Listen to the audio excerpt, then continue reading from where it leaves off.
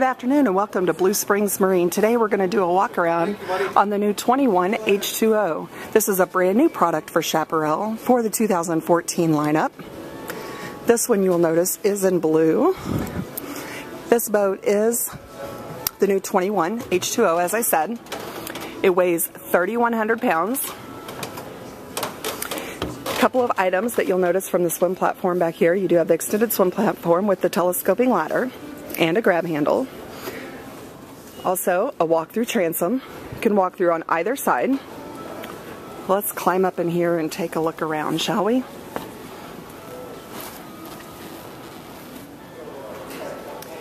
Notice the beautiful gray snapping carpet.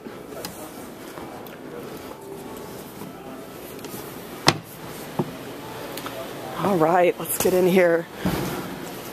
Look at this dash. Isn't this fantastic? This ergonomically designed dash, complete with depth finder, tilt steering, tach, all the gauges you could need, complete with a compass. This one is powered by a Mercruiser engine, has a rating capacity of 10 people. Let's take a close look here. Always important to know how many you can take aboard glove box, grab handle, stainless cup holder. Inside the glove box, tucked away over here, is your USB auxiliary in port. Plug in your iPod, play your favorite tunes. Your main head for the stereo is located port side. This H2O now has port side storage, starboard side storage, Look at all of that room. Let's move up to the bow. Look how spacious this is. Notice the wraparound seats up front. I love the way this wraps around, hugs your back, makes a very comfortable ride. Not just a grab handle, you've got a complete stainless bar, backrest cushion all the way around, so multiple people can sit up here and enjoy.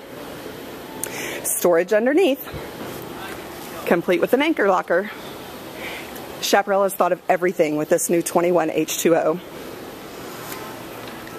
Quick look back. Bolsters on the seats. Very important. Want to be able to sit up nice and high when you're spotting the skiers. Removable cushions for your walk-through transoms. Let's take a look under here.